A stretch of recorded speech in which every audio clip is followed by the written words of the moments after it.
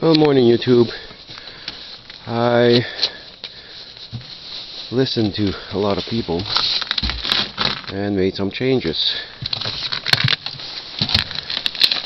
I move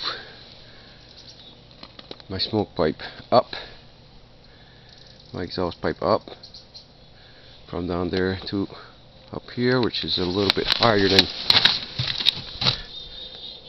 than uh, this one here. I also move my exhaust pipe from burn chamber from down here to up here.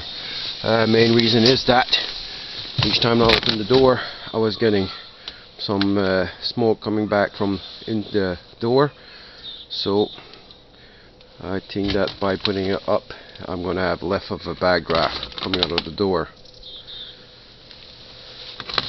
I had to raise the back end up 6 inches the stove, rocket stove. Now, let's make a fire and see what happens.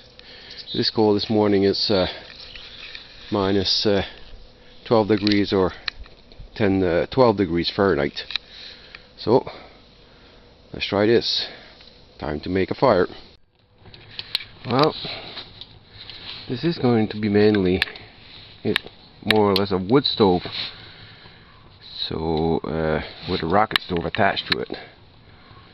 Or a rocket stove with a wood stove attached to it. So, one thing I notice as soon as I make a fire is that I got no smoke coming out of around the door so it dries a lot better with the with the pipe on top of the wood stove and naturally I get a bit of smoke on startup well, let's give it a couple of minutes and uh, see how it reacts.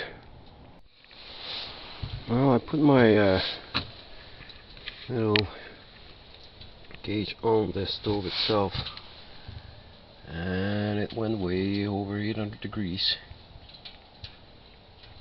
Still climbing. So another little stove is putting out some heat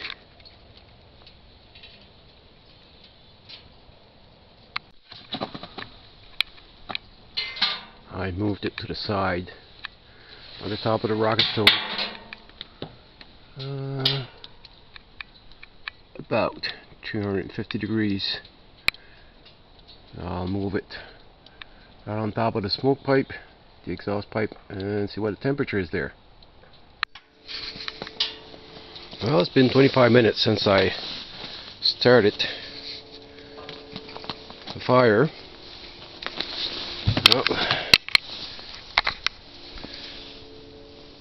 This is putting out a tremendous amount of heat.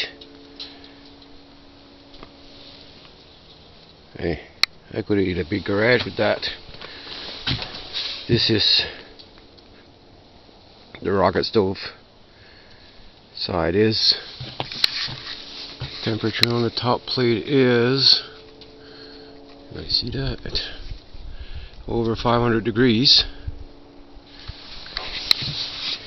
And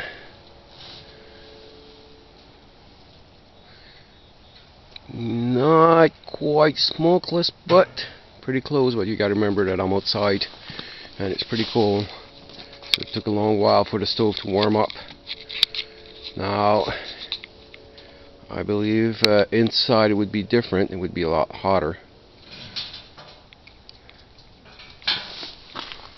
I don't know if you can see that. No, well pretty well smokeless.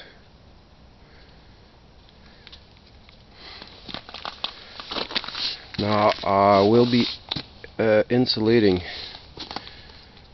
the uh, the horizontal tube and not the riser tube for now. Some people say that it's good, some people say it don't, it's not. So try that. On the small camera it's hard to see if uh, if you're seeing the heat waves or not. But the changes I made made a big difference. Now this is without a, a chimney pipe. There's a little bit of smoke, not much, but mainly heat coming out. Once everything is uh, once everything uh, works the way that I like, I'll be sealing this joint there and the top plate and I will get this part together and weld it up so that it's one big stove. Now, a lot of people talked about the secondary air. Well, until now I could not do anything about it. I just had to leave it there. But once everything is uh, put together and welded in place, what I'm going to do, I'm going to take the secondary air, put it right through the stove, and bring it out here so that it passes through the stove so the air will heat up a lot. I put it there for now because I could not uh, bring it through the stove without uh, welding the whole thing together. So maybe once everything is together and I have insulated that uh, that horizontal pipe inside the rocket stove it will eat up faster and uh, give me a uh, more efficient burn faster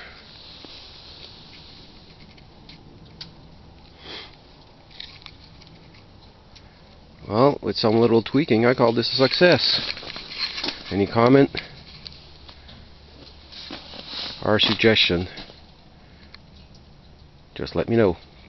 Thanks for watching.